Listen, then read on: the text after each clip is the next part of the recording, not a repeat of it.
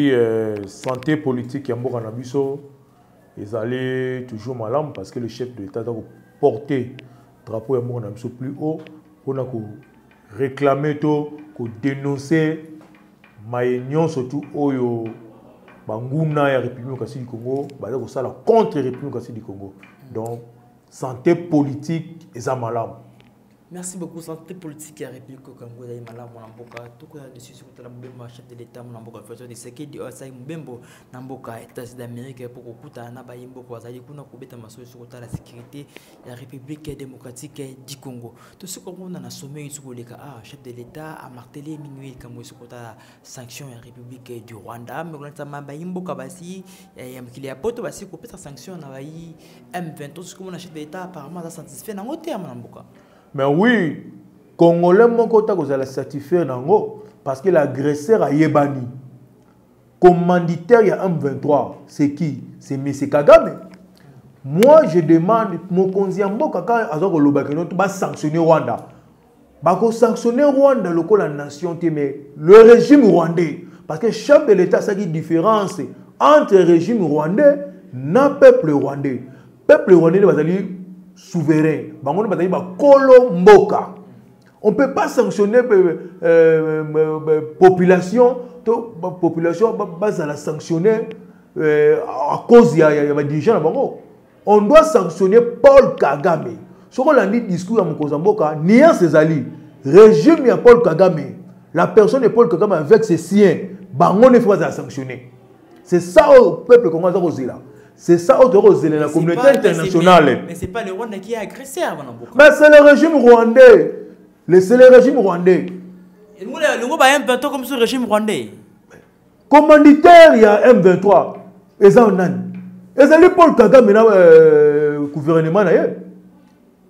soki esengi sanction ya sanction ekoya te mpa ya paisible ya citoyen rwandais ekoya nde mpo paul kagame paul kagame nde fo azala sanctionne paul kagame ifo nde akende korepondre na bamassacre nyonso to asali plus de 20 millions de congolais oyo bakufi na deux décennies à cause ya paul kagame il faut répondre na yango basanction oyo toza kozela toza kozela basanctionne paul kagame na regime na ye bacommanditaire oyo babomi bakongole bango wana mabuka olobi bien osi bokosela nde sanction ya ya paul kagame sanction ya régime ya rwanda te mais régime ya individu paul kagame mais oui chef de l'état eyebisi biso déjà barwandais ce sont nos frères ce sont nos sœurs oyo tozala na bango esika moko mais regime rwandais oyo ezali dirige par paul kagame bango nde baennemi na biso yango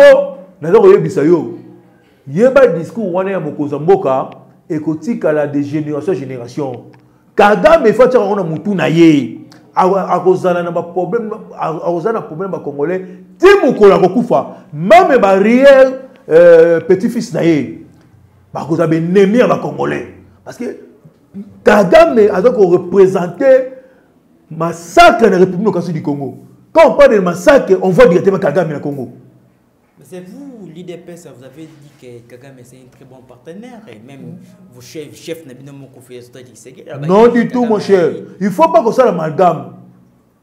idps non non kagame yoka papa pasi nayoka lisolo nayoka makambo oloba makambo mingi nayebisaka bino le chef de l'état félix antoine tshisekedi azali panafricaniste un panafricaniste aponaka afrique d'ensemble afrique oyo bato bavivaka te tovivre biso surtout comme bandeko c'est ça logique ya félix antoine tshisekedi tshilombo ntango azwi pouvoir ake komona tous les pays voisins y compris euh, euh, ce prédateur de, de paul kagame amoni bango mpo na koexplike kagame vision na ye na afrique hmm. alobaki yango na dernier discours euh, non euh, discours euh, avant dernier discours euh, état de la nation hmm. alobaki yango alobaki yango ye azalaki na vision ya afrike ya kotonga bapont afrike ya kotonga banzela afrike tovivre biso soto bapays na biso voisin tovivre na bomoko na unité mais kagame acomprendre yango te lokola azalaka déjà prédateur azongi na balogique na ye ya mabe c'est pour cela tokomi na, na, na, na état po tokomi na paul kagame donc euh, pourquoi paul kagame na nde vrai ennemi ya bacongolais ennemi juré ya bacongolais ezali paul kagame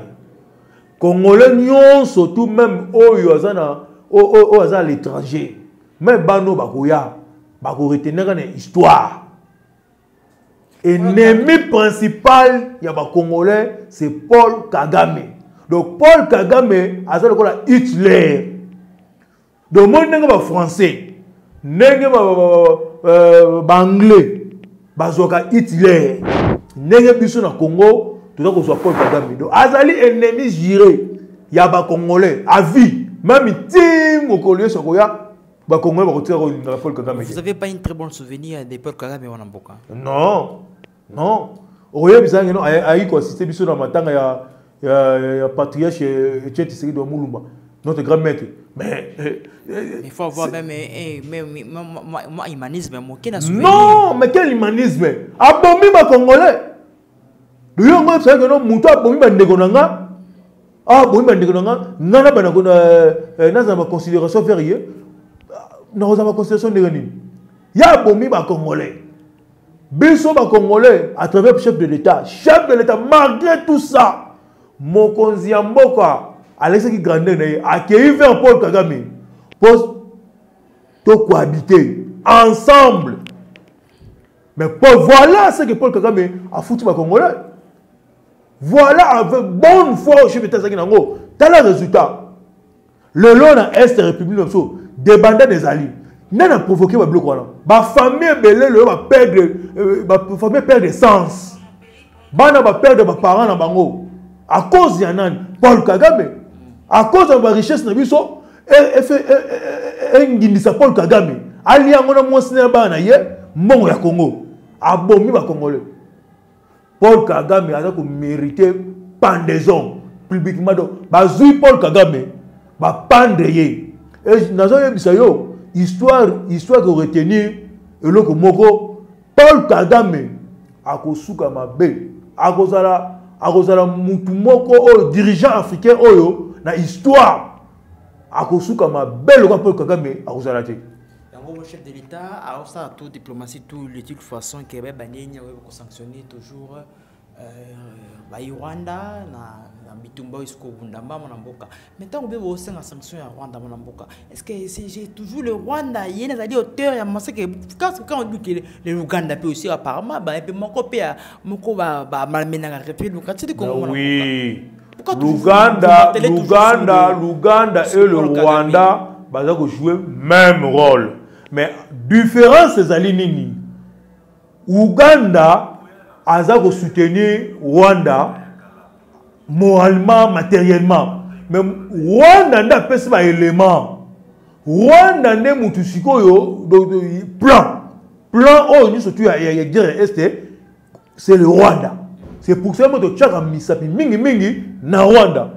nayebisaka oyo achek fo na plateau oyo ke guerre ya est ezali guerre économique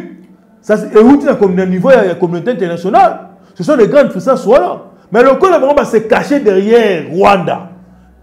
il faut tobanda nde na rwanda ntango kagame akozwa sanction kagame ye moko nde akobanda kosite maintenant ba bacommanditeur na ye bato bandeki kotinda ye parce que union européenne esi kodote euh, bayi rwanda une affaire de 20 millions d'euros oyo oh, rwanda asengi kosenga te esi kodote kodote tokoki kosatendre na sanction je vous dis mon frère je vous dis mon frère la guerre de l'est euti na niveau ya communauté internationale ntango otangi union européenne union européenne euh, euh, bazosala parti ya nini ya communauté internationale alors sanction mpe euta epai na bango kuna bema na mboka sanction ife euta epai na bango parce que soki sanction euti oyebi problème eza nini lelo yo nani soko moko omoni eh, communauté internationale bacommunauté internationale lelo baza na soni pourquoi baza na soni parce que le chef de l'état congolais a étalé communauté internationale sur le plan international voilà la communauté internationale tobengaka communauté internationale bango bazali garant ya kosécuriser monde baintérêt nyonso tout ya monde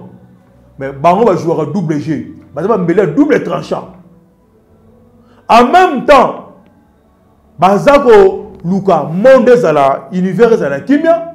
en même temps bango nde mutu baza ba commanditaire ya beaucoup de guerre oyo esama na monde surtout na afrique bandeko na biso ya baasiatique ya baarabe bakomprendre yango déjà avant biso africain akomi kocomprendre yango nde sikoyo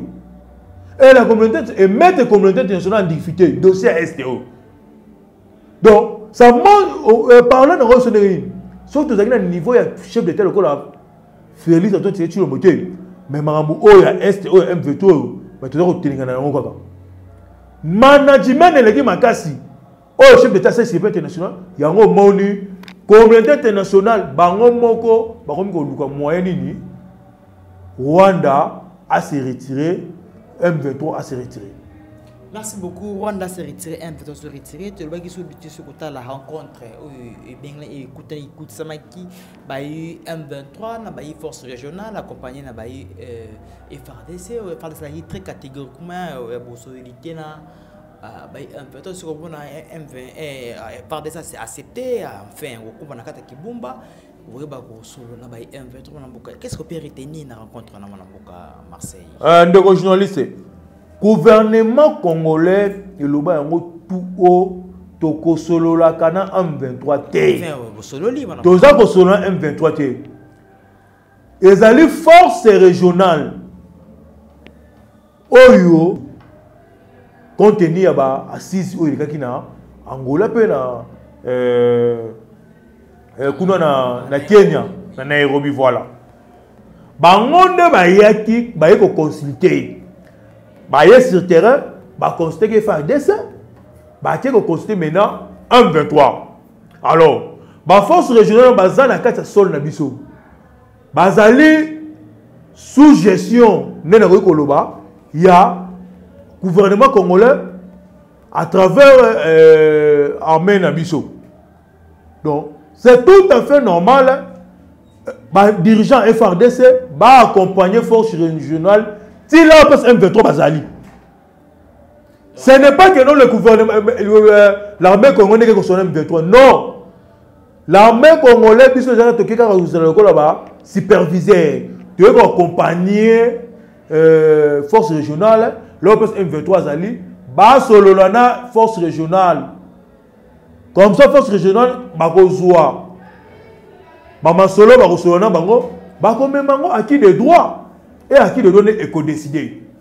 Mais pour votre information, en 23,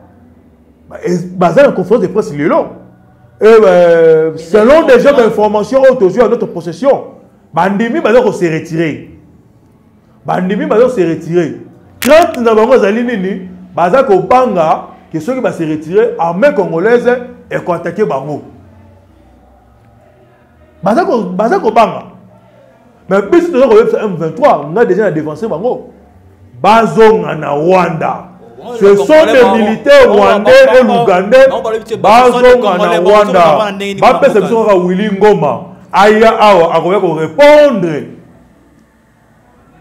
bapesa biso willi ngoma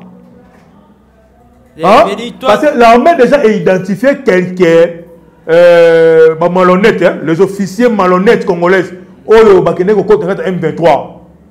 baza déjà identifié baleki meme 10 te bapesa biso bango bajohn numbi ba euh, le messie tokotanga nkombo na ye awa willi ngoma e consort baya na bango na kinshasa baya na bango kinshasa mais oyo eza etangi batroupe bazonga na rwanda oh. message ezali te message ezali te message ekosalema lisusu te mokonzi ya mboka felisaki meme euh, badepute euh, par rapport ya baloi oyo bavotaki message brassage eza te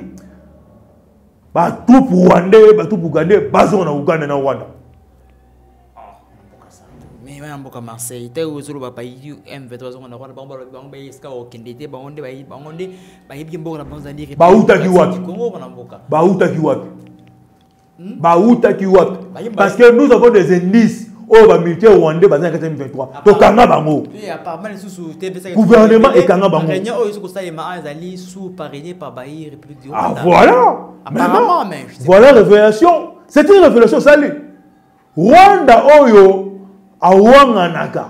malgré que non ba preuve ezali awanganaka tika wangana parce que par na ba sommet nyonso tout autre se retrouver na Rwanda. Na ba propagande surtout se retrouver na Rwanda.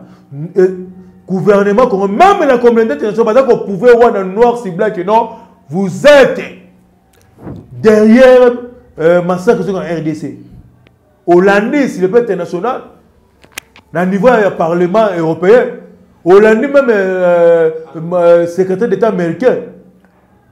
donc c'est approuvé que rwanda azali azalaka derrière m23 eza kutu ya kosamba te mais bamilitaire oyo bazali ya m23 ce sont des militaires rwandais preuve ande que non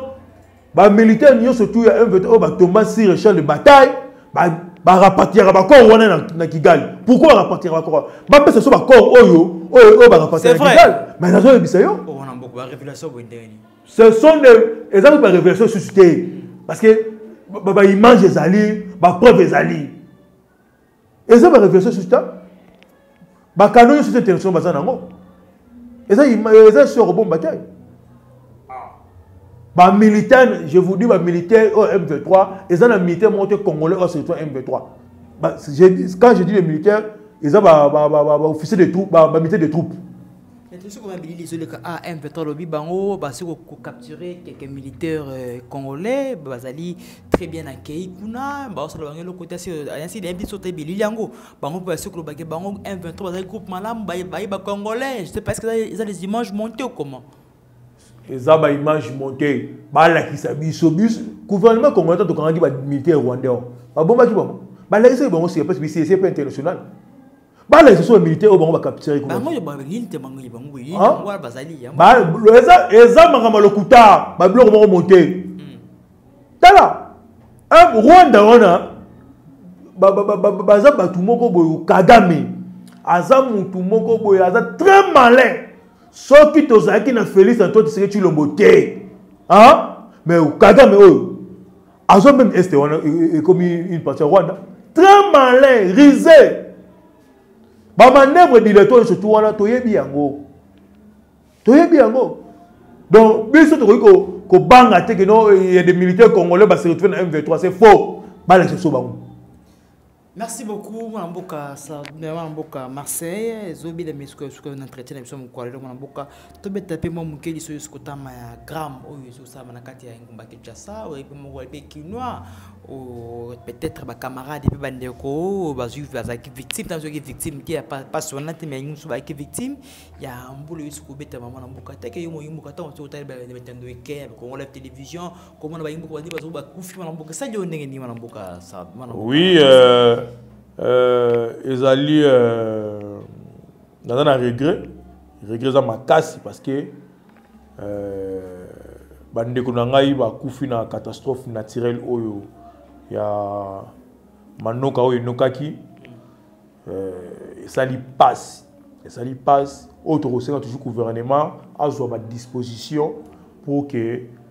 euh, ntango bacatastrophe ya bongo eyaka euh, quand même mwa balimite ba badégats parce que kotala bacoin oyo lao place bacatastrophe ba esalemi en réalité eza mpe bisika oyo vraimen bato akoki kofanda te soki bato tofanda kuna ezaka mpona mpasi donc gouvernement oyo c'est un gouvernement responsable ya premier ministre sama lukonde bata no ndenge nini bakoki korevoir bazelaka te ke non soki bacatastrophe esalemi nde boye bolongoli bato non non euh, ah, gouverne diriger se prévoir prochainement cartographie déjà ya ville kinshasa ezali bakoin oyo bato yaki kofanda na bakoma tokofanda te baetisaka yango mpona kolimite badégats mais en tout cas euh, sese mes condoléances na bafamille surtout oyo bapede ba baye ya bango et nous sommes des kier na bango merci beaucoup vous êtes des kier na bango mwana mboka euh, marseille tosukolana mpe ya propos ya mwana mboka jokokombolomba azali mpe patron ya ville de kinshasa vice patron asukote ya propos ya bien nayebi te estce ekozala parmi ba cause ya ya ya négligence te oyo oh, depuis nomination esikoya esikoli babugomesa basala so mosala tata kokombola ye esalama esu tema na mboka eza parmi bafaiblesité na te koki kocree ke peut-être badege esalema te parce que jusqu'à maintenant mbula esili tema na mboka non non non wana ezali catastrophe moko naturel motu moko otakoki kokanga vent to euh, kokanga euh, manoka ndenge nalobi mbula motu moko otakoki kokanga yango mm. auparavant pa na na na zuka na contexte lobeli wana donc auparavant na mboka oyo to vivant na ba catastrophe bongo te to vivant yango c'est pour ça na que diriger c'est prévoir gouvernement atala lolenge nini oyo akoki kotala ba zone wana surtout wana euh, ba zone wana oyo koyeba tokoki kofanda te ayebaka ndenge nini ya kolongolaka bato avant badega ya ya kolongola bato mpo badege ya donc eh, na interpele gouvernement mais koloba ke no ndeko jekoko na ye mamo directement na dossier ndeko jekoko ndeko jekoko aza partenaire na bino ndeko jekoko fils maison kutu kutu partenaire non aza fils maison te c'est oh. un fils adopté jekoko na idps aza natif ya idps te Parce qu'il s'agit de de, de, de, de, notre parti, il s'agit de notre histoire politique. Biso dans la histoire de l'IDPS. Plus de 15 ans na kati ya IDPS. Je koko sali 10 ans na IDPS te. Je koko donc azui je koko azali oh, oh, oh, bien non chance eloko pamba. Na kati ya IDPS. aza fils maison te jekoko azali natif ya pprd oh. il vient de pprd il a passé na mlc aye kochute na idps wana nde histoire jekoko histoire politikewana biso mais oui biso nde toza bafils politique oyo toza na oui bafils maison idps c'est nous ah oui.